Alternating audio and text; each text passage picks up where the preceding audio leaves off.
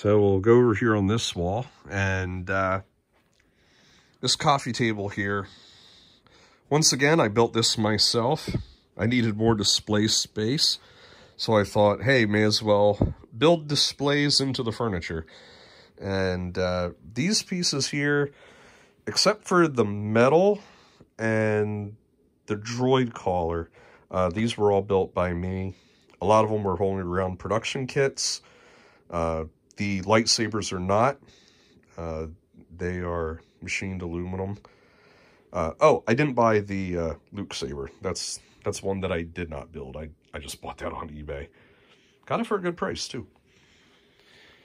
So here is my interrogator droid. Uh, I don't have the batteries in it, so the lights aren't gonna, I'm not gonna be able to turn the lights on. Uh, I built this myself. And this part right here, you may or may not recognize it, but these are speeder bike parts. that is my next really, really big project I'm in the middle of building. Um, I just need a place to sit them out of the way. And so got Megatron there. Now he is properly scaled. That is not a toy. That's all resin cast parts, uh, which you can get at Hole in the Ground Productions. Pulse rifle. Uh, now that is not my kit. Uh, that's someone else's. Um, if you go to Spat Cave, you can get it there. It, really cool. The pulse rifle is one of the coolest sci-fi weapons ever invented. Just looks so, so awesome. So up here on this long shelf is, or should say was, where I housed my Black Series figure collection, but I've sold off most of them. So I only have a few left up there. Uh, and the whole reason it's that really long shape is there had been a light fixture up there. I took the light fixture off and uh, replaced it with this shelf. I have the Dark Saber up there. It's the uh, Black Series one. This is one of my favorite pieces. Uh, this is from Dave Dorman.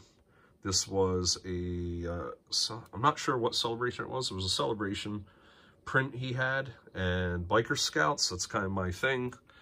So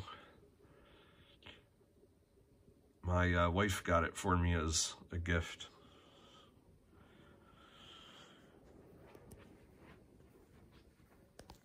So here is the Krull Glaive from the movie Krull. that is a hole in the ground production kit that I made. Um, silly movie, but I still love it for some reason.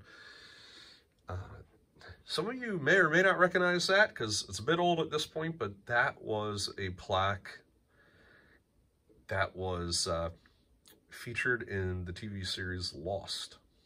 So, something back here. More droid stuff. Now, this is uh, the Hasbro remote control BB-8. My wife wanted me to build her a full-size one. And I was like, uh, no, that's a bit much. I'll, uh, I'll just get the one you can buy. the IG-88 head was a kit, not mine, but I was able to get a hold of one and thought, what the heck, just something to, just something to make. The Gonk Droid is mine that I scratch built. Great thing about a Gonk Droid, they're basically a big box and you can uh, use them for storage or just about anything, which makes it really, really nice.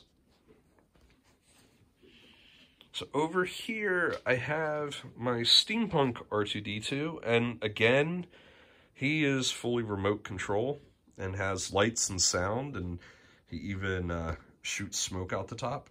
I'll have to do a separate video with him at some point. But anyhow, let's get a wide view there. And there you go. You see I have a bunch of junk there right in the middle. It's like I, I need to do something with all that. And I really need more cabinet space. And some people, they, they have so much stuff in their collections and it's great. They can just walk up and move stuff around.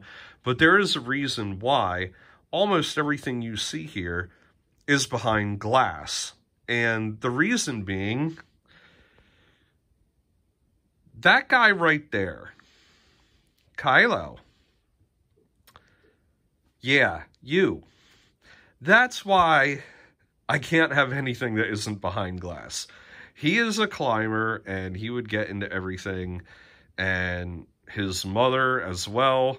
Uh, she's a little thief. If there was an action figure that was loose, uh, she would probably pick it up and run off with it.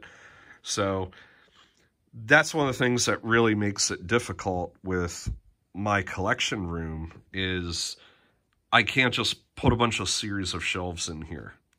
Everything really has to be protected behind glass. And there's no door to the downstairs here, so it's not like we can just close the room off. This is like part of the whole downstairs, the family room, basically. So there you have it. Hope you enjoyed it. Um, like I said, not as impressive as some other people's collections.